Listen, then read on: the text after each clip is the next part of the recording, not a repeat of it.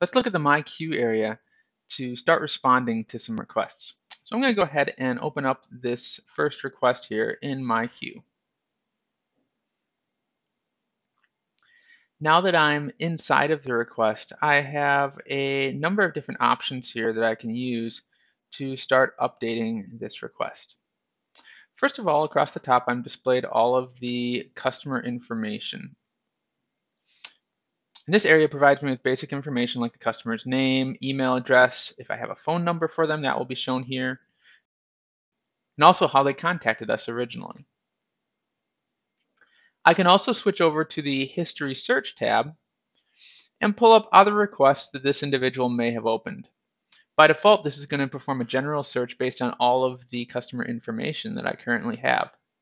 However, I can also choose from this dropdown other types of searches, such as a full name match, or even a email domain match. So in this case, it would be looking for any requests that have come from somebody at example.net. Now, when you have searched the request history, you can take a look at individual requests in their history simply by clicking them and you'll be shown the peek view. And you can also click on the request ID itself and you're given the option to either copy the customer information over or even merge the requests together. Over on the right hand side, we have the request meta information area. And this is going to show a number of different items about the request itself. First of all, I have displayed the request ID itself. This is the request ID that HelpSpot assigns to the request. Below that, we have the status listed. And the status allows us to set what the current state of the request is. In this case, my status is currently active, but after performing an action, I might mark a request as problem solved, or maybe even something like escalated, or waiting for reply.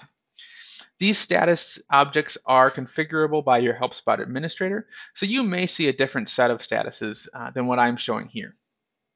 Directly below that, I have the request category. Now this is the overarching way that requests are organized inside of HelpSpot and allows me to set a general area that this request belongs in. So for example, this request might be a general sales question or it might be a general support question. Finally, HelpSpot is going to show me who the request is currently assigned to, and then any custom fields or request tags that I have for this request. That brings us over to the main note area. This is where you can write replies to customers and also make notes on a request. The re request note area functions just like a standard email editor that you may have used before. So I can start typing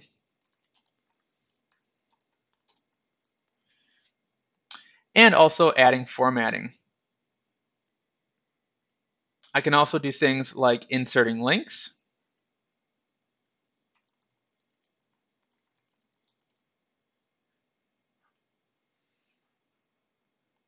And I can also do more complex formatting like adding bulleted lists and changing font colors, highlights, and font sizes. Now once I have composed my note, I have three options for how this note is going to be sent. First off, I have a public option. And what HelpSpot tells me right away is that the customer is going to be emailed in this case. So what this means is that this note that I'm writing right now is going to be sent to the email address of the customer. It will also be available to the customer in the public portal that the customer has access to. Now I also have the option to make a private note instead.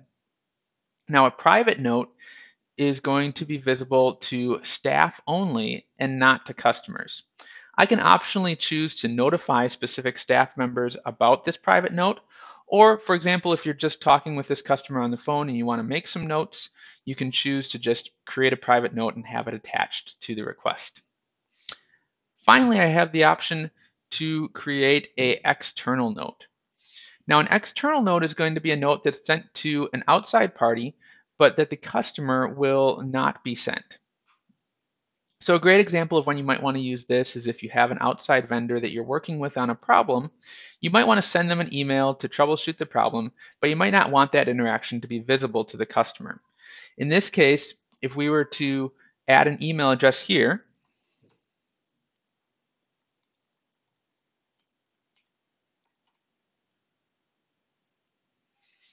that email address would now be sent this message, but the customer would not be sent the message. Any replies that the vendor then makes back to us are going to automatically be added to the request history as private notes. This way you can see that complete interaction with the vendor, but your customer will not. Once you've chosen the type of update that you want to perform, you can commit the update by choosing either to update the request or to update and close the request. Now there is a difference between these two actions. Updating the request will send out the emails and perform any updates that you have uh, selected for this particular update, but it will not close the request. The request will remain in your My Queue area. However, if you choose to update and close the request, the request will be removed from the My Queue area and it will be marked as closed. Now, when you do this, the request isn't necessarily closed for good. If a customer replies back to you after you close a request, the request will reopen and will reappear in the My Queue area automatically. A very common workflow is to update and close requests as soon as you're waiting for feedback from a customer. Then when that customer replies to you, the request will reopen and you can begin working on the request again. This can keep the My Queue area more clean and help you focus on the requests that need your immediate attention. That brings us then down to the request history. Now the request history shows us all of the actions and notes that have been made on this request. We can see notes that have been marked as public and also private notes here. In addition, we're able to see other changes that have been made to the request. For example, this request has been reassigned, and also the category has been changed on this request.